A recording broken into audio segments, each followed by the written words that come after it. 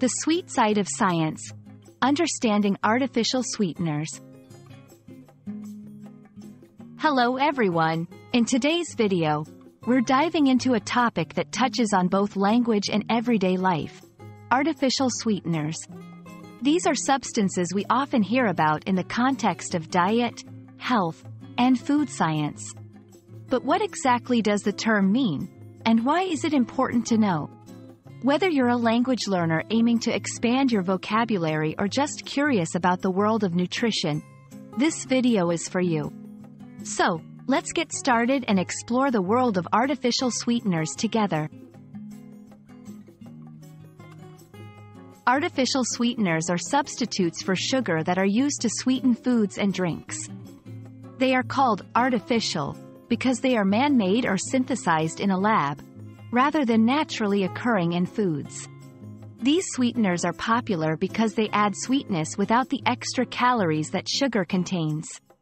This makes them a favorite choice for people looking to reduce their calorie intake or manage diabetes. The use of artificial sweeteners has several benefits.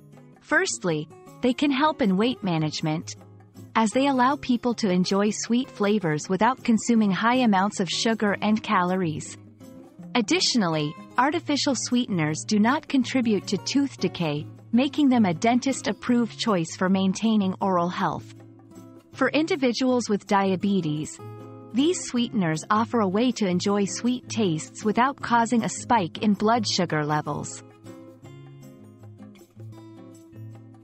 There are several types of artificial sweeteners, each with its unique properties and uses.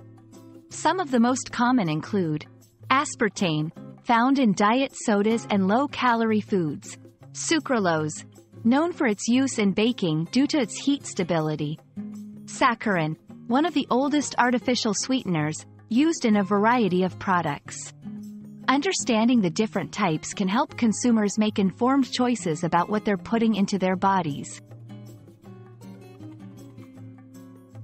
Despite their benefits, artificial sweeteners are not without controversy. Some studies suggest potential health risks, while others deem them safe for consumption.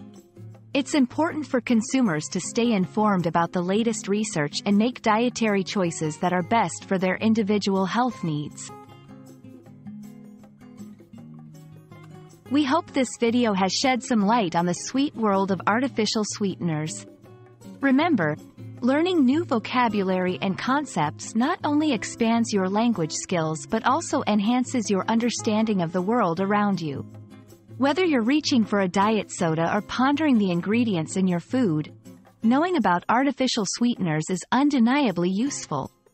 Thanks for watching, and see you in the next video.